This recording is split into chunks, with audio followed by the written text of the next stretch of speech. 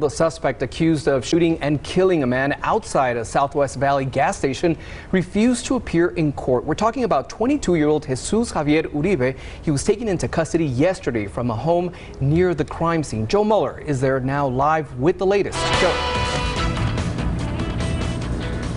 This gas station behind me here was closed much of yesterday, but it is now back open. Now that suspect who allegedly shot and killed someone here in this parking lot ended up not being in court. He refused to come to court, Your Honor. He refused, okay. Jesus Javier Uribe is accused of randomly walking into a gas station early Thursday morning, robbing one person before shooting and killing another. While people in the area were on edge knowing he was not behind bars, several hours later, police got a tip he was in a nearby home and a barricade situation started.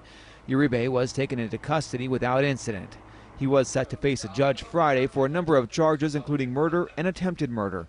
A friend of the victim, Curtis Abraham, showed up to court to face the suspect. Yeah, I think he's disgusting and um, vile, and um, and he needs to be put away forever. He took Curtis's life, and Curtis was loved by many people.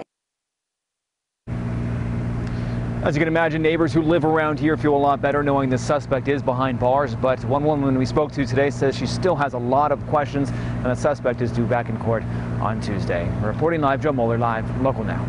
Thank you, Joe. And the family of the victim, Curtis Abraham, released this statement saying in part, quote, our family is broken, our hearts are broken. Words cannot explain the pain and anger we feel. Curtis was a father, son, grandson, brother, beloved family member, and friend.